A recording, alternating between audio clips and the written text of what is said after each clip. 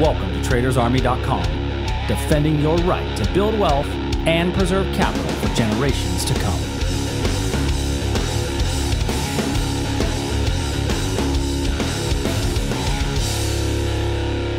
Yeah, Tuesday. It is Tuesday. It is the end of January, January 29th. Hope everybody had an absolutely amazing trading day yesterday. Welcome to the Daily Market Commentary. I'm your host, Chuck Fulkerson. For those of you that are new to the channel, do me a favor, smash that notification bell, hit that subscribe button so you get the updates as they become available. For those of you that are regular subscribers, uh, hit a give me a give me a like, give me a thumbs up, give me a comment, give me something uh, to let the, the YouTube computers know that you're still alive. And remember to share this channel with a friend. Uh, if you've got uh, people out there that you know that are trading that you think would appreciate this uh, this channel, make sure you let them know about it. All right, let's dive right in. So the S and P yesterday, um, we had talked about a potential area to get long. Uh, as price came down. Now, I was not in love with this area. This was on a 15 minute chart. Anybody remembers we were looking at this as a confirmation style entry uh, because we'd come close to it. But notice when we came down into it, what did it do? It blew right through. But I, I don't want to say that that level was completely a waste. And I, and and this is why we like confirmation style entries because if you miss out out on the entry, you're, you're still not hurting yourself, right? Because once it goes through that stop loss area, that trade is no longer considered valid. However, take a look at what the old area of of uh, of demand which then got blown uh, blown through, turned into it came turned into a pretty nice reversal area for a trade back down. Uh, not sure how many of you have traded in that way, but oftentimes what you're going to see is that those decent turning points, if they if they've worked once, which it did work once, uh, and then the second time through it kind of based before then falling through, and the basing before the level is definitely always a clue.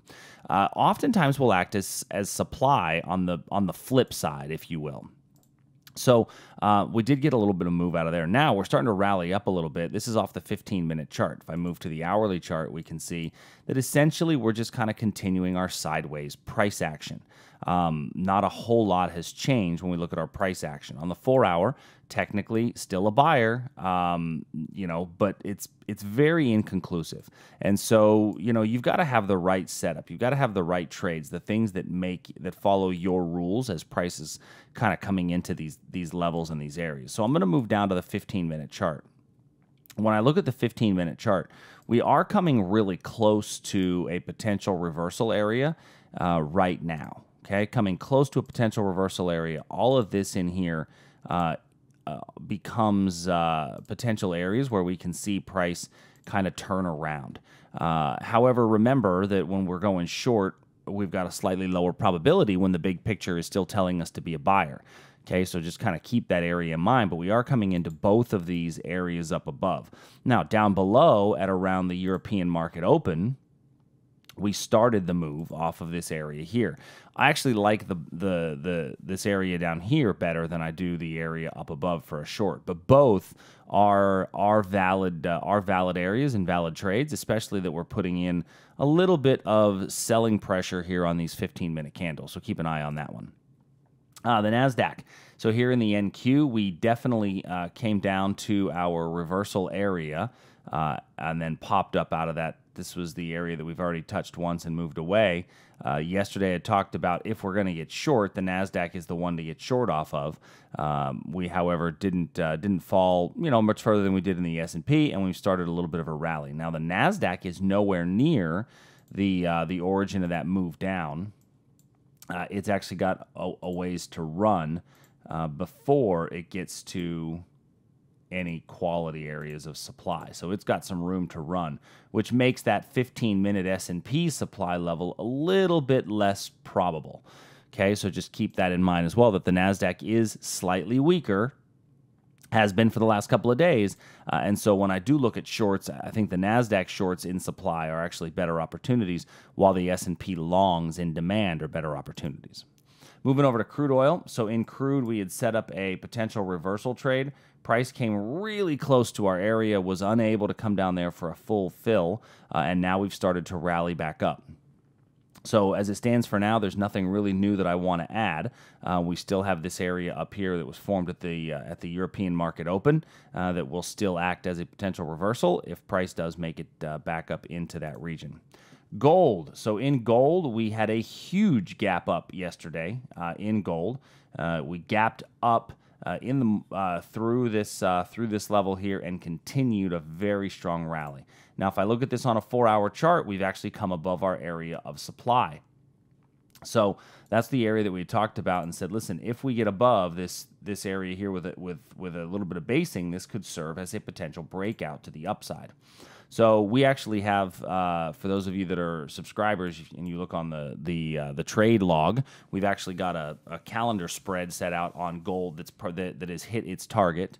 Both target one and target two will be closed out today um, on this big gap higher. I think that there's plenty of room if you look at this on a daily for gold to continue a, a, a, bigger move. Now, you may want to wait for a bit of a pullback to give you an opportunity, but this is a pretty big gap in gold uh, that we're seeing, right? This is a this is a pretty big gold gap, uh, and when you get a gap like that, those typically turn into gap and run situations, and so you may want to wait. Uh, for a pullback down to maybe a 15 minute area of demand, a 15 minute level, um, just not sure when that would uh, when that would come and when that would arrive. So basing here before the level on the breakout could be a chance to uh, to to follow this thing and, and get the run. So look at the look at the breakout to the upside as a potential for a longer uh, a longer running position. Uh, moving over into our bond setups. So in bonds, we had a bond short uh, identified. Price came into our level. Uh, this was the confirmation style entry. So we got in, uh, it came all the way to the top, and now it's just chopped around and really done a whole lot of nothing. Hasn't really hit our stop, hasn't really made a move. Uh, so in this case, uh, you know, if you follow the six candlestick rule, you know, if you, this is your entry is somewhere, you know, we, we get halfway into the level, your entry is somewhere here, one, two, three, four, five, six, 7, 8, 9, 10, 11, 12, 13, 14, 15, 16, 17, 18. We're 19 candles into the move, and so we haven't really gotten our move. In my mind, I'm a big believer in the six candlestick rule. If it if it tries to if it makes entry and doesn't make its move after six candles, I'm not interested in it. So I'm going to remove these lines and this area uh, and based on the six candlestick rule, that is one that we should no longer be waiting around for price to move. Uh, in the Aussie, so in the Aussie, we had our breakdown level below here, uh, and this trade moved out uh, for a nice little, uh, nice little move. It's come back in. This actually does give you another opportunity to get short in case you missed it the first time around. So if you are short in this one, uh, then allow this one to kind of keep running. At least move your stop down to break even at this point. Now that we've retested this line, so that you don't take any losses. So that one should continue to run for you. Uh, in the euro, we had a confirmation short setup. Uh, price came into the euro level and then we moved away. So if I go to the 15 minute chart on this, you can see that we came into the level uh, and then we got a little bit of basing, popped up through it. So this probably shouldn't be an entry uh, in this position, right? We came into it, but we didn't really come out of it until down here. Uh, this is really where you where you'd have an entry of some sort, but in reality, we came up above there first. So that level, once again, this is why we like confirmation entries. Allows me to, you know, not necessarily commit fully to the trade until it starts moving my direction. Uh, when I look at this on a on a one hour chart, I'm gonna go to a four hour. So when I look at this on a four hour chart, my four hour chart is telling me that I'm better off being a buyer and I've got this uh, these upward uh, higher swing highs, higher swing lows. We are getting a pretty nice pullback here at the moment uh, on the four hour, but ultimately still going to be okay uh, as uh, as price kind of retreats back into into this region here. None of these are high quality demand areas. So for those of you that trade candle to candle style, you could get a candle to candle long somewhere coming out of this level uh, for an for an opportunity. So Canadian dollar. So in our Canadian dollar, this one was just completely wrong.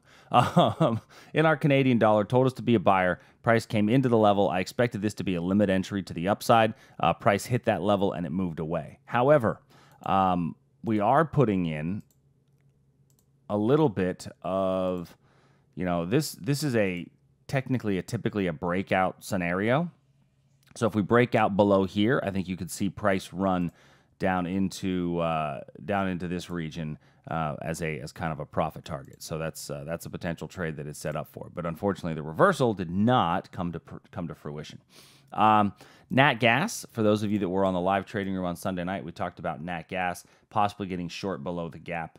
Uh, the gap area is low, and uh, and then a stop would be above the gap area is high, the candle of the gap, and so we, we broke below, but we're not really doing anything. So not a whole lot of movement on that position. Great British Pound uh, price is just chopping just above here. Uh, not a whole lot happening there. And then the Japanese yen, we're still in between our levels. So not a tremendous amount happening really on in any markets today uh, that are that are strong turning point opportunities. Right, gold being the biggest runner, uh, but there are some individual equity positions that we had uh, entered into or taken a look at the other night that are making some significant moves. If you uh, would, you know, one of the things that's great about the market is you don't ever have to uh, you don't ever have to, you know, just be a futures trader. There are other, there are always going to be other market opportunities out there for you to look at uh, in a uh, in the in the grand scheme of things. So if you want to learn more, go to tradersarmy.com uh, and give us uh, give us a try. We've got a uh, we've got a, a uh, promo running. We're almost to the end of the month. Uh, for the month of January, the first month is only $20.19. So start your 2019 off right for only $20.19. Give it a give it a give it a go. So, all right everybody, hope you're having a great day and I will be back tomorrow.